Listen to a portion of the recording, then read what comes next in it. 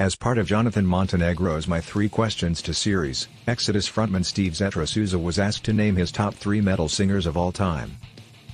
Zetro responded, I could go on forever, there's so many that I could say. But you have to give. For me, Bon Scott, Ronnie James Dio and, obviously, Rob Halford. But I then I could go Biff Byford, I could go John Bush. I have so many that I love and that I'm influenced by. They're such legends and they had such an impact on how singers like myself sing today, especially Bon Scott, I mean, my voice is a pretty much imitation of it.